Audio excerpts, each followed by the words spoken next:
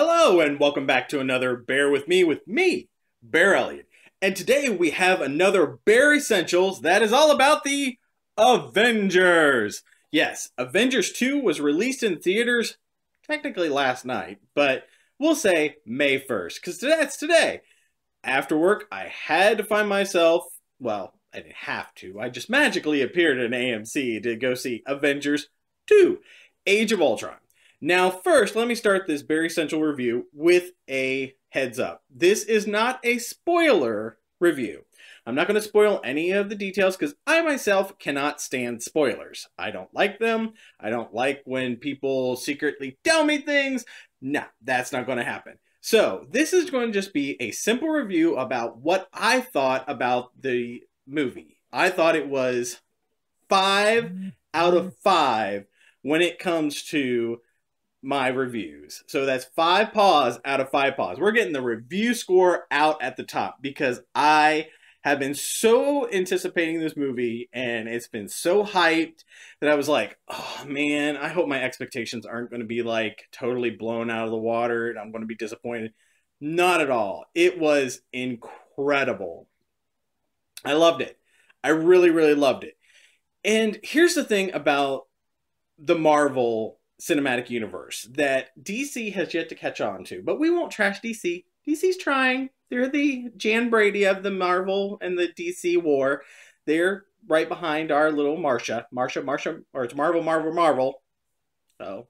But yes, this is the great thing I loved about this film. It's not just an action film. Yes, it has that.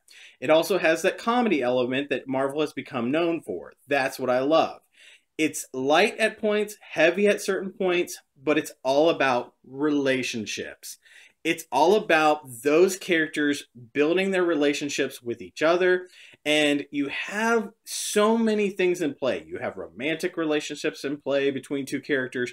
You have a conflict, almost like two rival brothers going on between Iron Man and Captain America, setting the scene for the next movie that's coming out, which is Captain America Civil War. You can see the seeds starting to be planted, but they're not like blatantly in your face. People that are used to the Marvel characters will pick up on those little things, little little seeds being planted, but it's not like right in your face that, oh my god, this is totally just leading into the next movie. The relationship between the Black Widow and the Hulk. So you have Natasha Romanoff, who has been programmed since she was a child to be a monster. You have the Hulk, who is a monster. Bruce Banner is trying to eliminate that side of himself. So you have these two monstrous characters. That's just, it's like this Beauty and the Beast story that they've created with these two guys.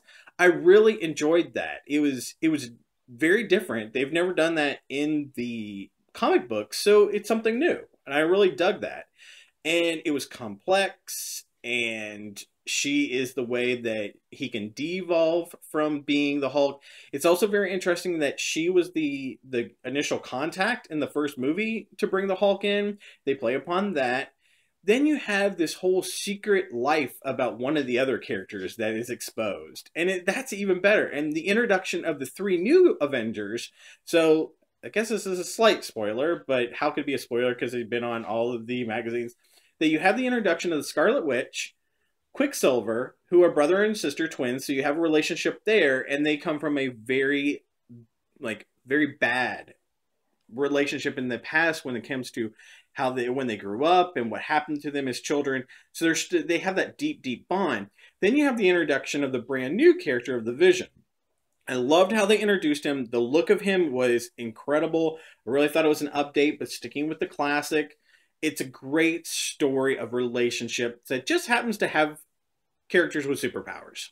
That's the cool thing. But it was a great, great movie. I think it's appropriate for all ages. I love the the theme that just runs through it and just keeps going. I thought the action scenes were appropriate, and Josh Whedon did a beautiful job of creating this world for us. And if you're a fan of Josh Wheaton, Josh Wheaton or Wheaton, Wheaton, I don't remember how, do you say his last name. Josh Wheaton. Uh, we'll just say Josh Whedon. Um, because I, th- I keep thinking Wil Wheaton, but that's not him. No, that was no, That's something completely different. So, yes. So, once again, the Bear Essential review for Avengers 2 Age of Ultron. It is a five out of five paws. Incredible movie. Go out and see it. And hey, don't forget that tomorrow is free comic book day. So definitely make sure that you go see Avengers 2, then go to the comic book store and get yourself a free comic book. Or go get a comic book and then go see the movie. But yes, once again, this has been Bear Elliott with Bear Essentials. So thanks everybody. Bye, Cublet!